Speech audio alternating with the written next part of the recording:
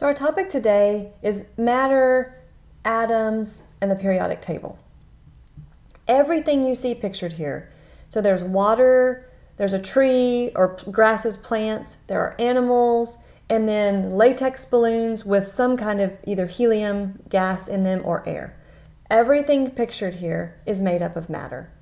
And the definition of matter is anything that has mass and takes up space. All matter is made up of things called elements, and all of these elements are represented or organized in something called the periodic table, and we're going to have a look at that in just a little bit. Another term I want us to be familiar with is an atom. Okay, if you if you looked at any of the elements and you said I want to find the very smallest piece of that element I can I can get down to, and it still be that element, it still has the characteristics that that element has, that would be an atom. So every element is made up of atoms. Now, an atom of oxygen is not the same as an atom of helium or of carbon, but they are all atoms. Now, each atom has three different particles or subatomic particles if you want to impress your friends and use a big word. Okay? Protons are positively charged particles inside of an atom. Electrons are negatively charged particles, and neutrons are then therefore neutral. They don't carry a charge.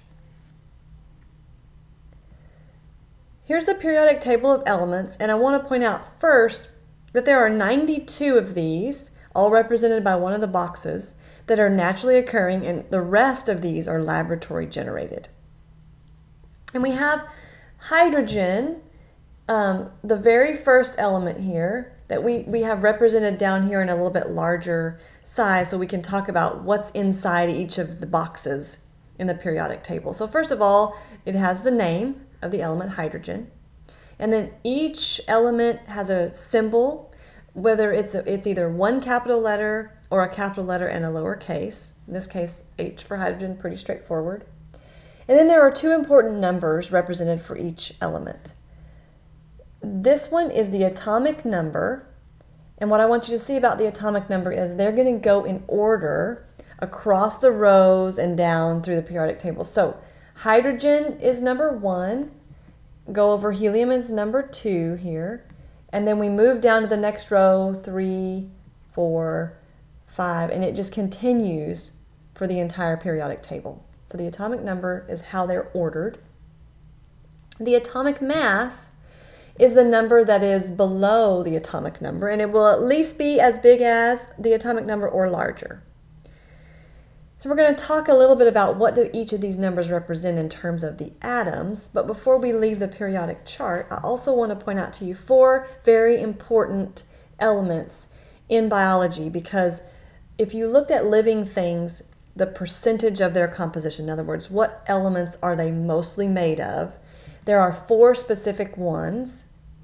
Okay, carbon, hydrogen, oxygen, and nitrogen. So let's identify those on the periodic table. So we've already pointed out hydrogen is here, carbon is here, nitrogen, and oxygen. So those are the four most common elements for living things. Now I want to make sure before we move to the next slide that I point out to you, we're going to focus for just a minute on carbon. We're gonna we're gonna use carbon as an example to, to take forward our definition of atoms and the subatomic particles. So the atomic number of carbon is six. I'm just getting that from the periodic table. And the atomic mass of carbon is 12.11. So I'm going to put carbon up here. We're going to say 6 is the atomic number and 12.11 is the atomic mass. Now, what do I need to know about this information? Well, the atomic number, besides ordering the elements in the periodic table, is going to tell you how many protons there are in that atom. Whoops, number of protons. Okay, so in this case, an atom of carbon has six protons. An atom of carbon will never have more or less than six.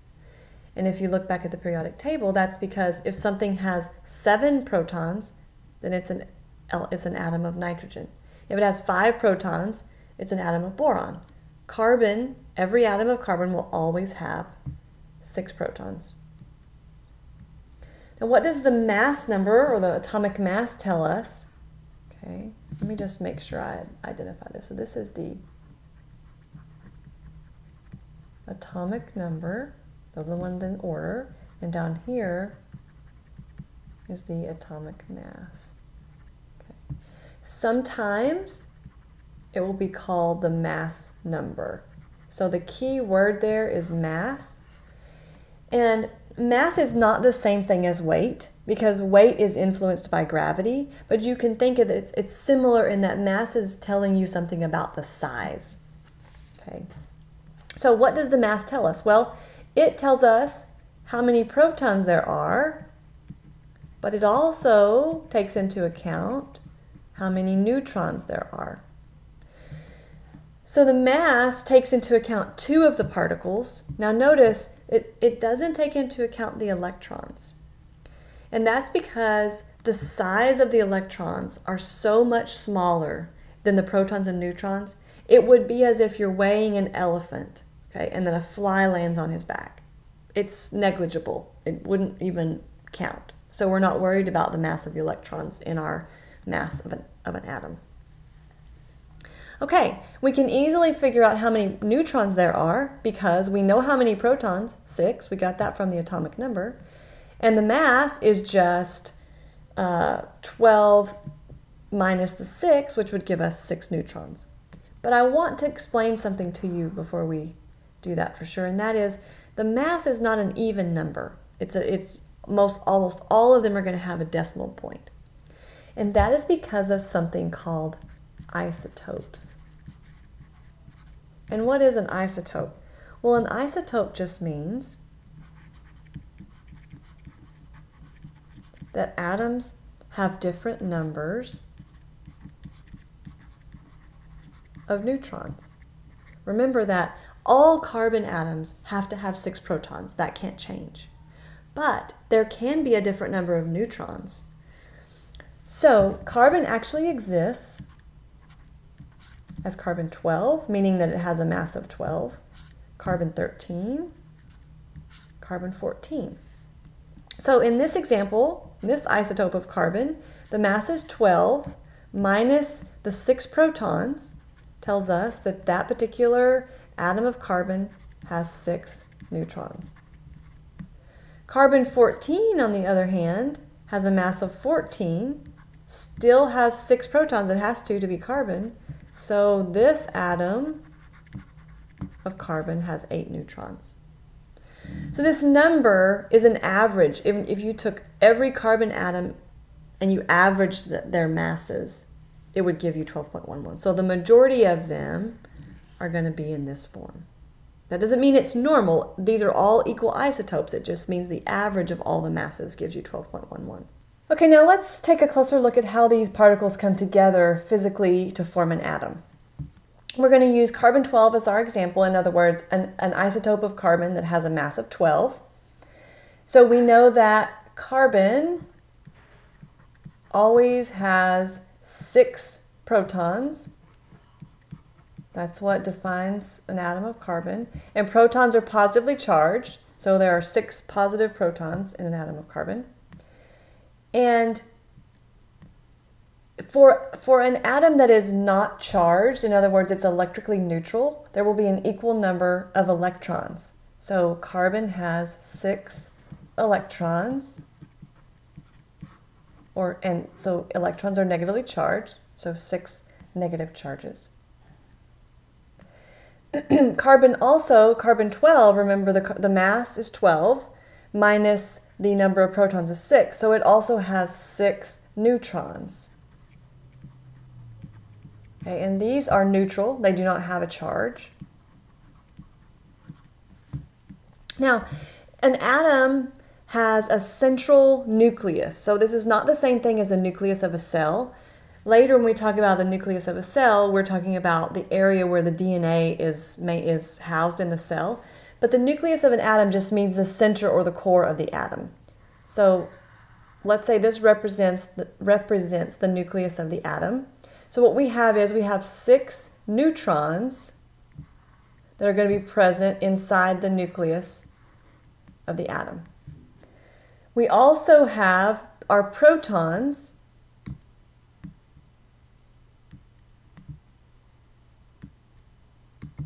that are going to excuse me, be represented in the nucleus. So we'll draw six of those. Now, the electrons, on the other hand, are not found in the core of the atom or in the nucleus. They're actually in constant motion. Remember that these we said were extremely small and they are in constant motion around the atom. So the electrons, we, we say that they occur in orbitals, and these are just the likelihood of where they may exist at any given time because they're in constant motion. So I'm going to draw this first energy shell or orbital, and we're going to say that we're going to put two of these electrons, okay, in the first shell, it only holds two electrons. It's full with two electrons. Now the next shell outside of that will hold eight up to eight electrons. So we have six total, which means we have four electrons that we need to put away in this shell.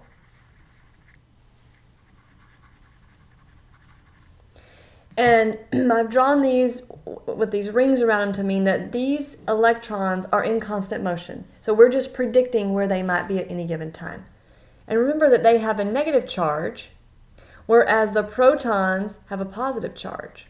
And it's the opposite charge's attraction that keeps the electrons circling the nucleus of the atom.